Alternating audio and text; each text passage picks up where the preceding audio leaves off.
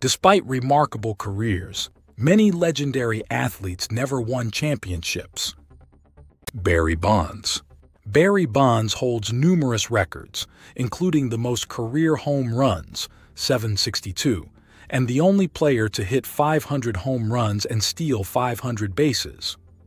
He performed well in his lone World Series appearance in 2002, but the Giants lost to the Anaheim Angels.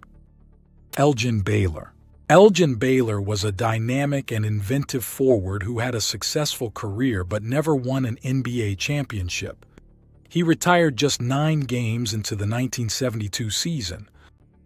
Charles Barkley Charles Barkley, an 11-time All-Star, never won an NBA championship.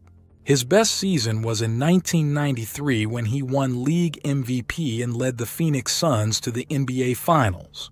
He was also the leading scorer on two Olympic gold medal winning teams.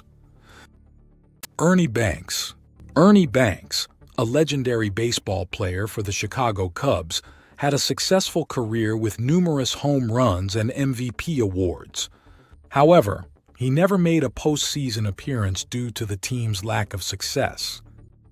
Jeff Bagwell and Craig Biggio Jeff Bagwell and Craig Biggio the backbone of the Killer Bees for 15 seasons, were elected to nine All-Star games, won five Gold Gloves, and achieved significant milestones in their careers. They helped Houston reach its first World Series in 2005 but were ultimately swept by the White Sox.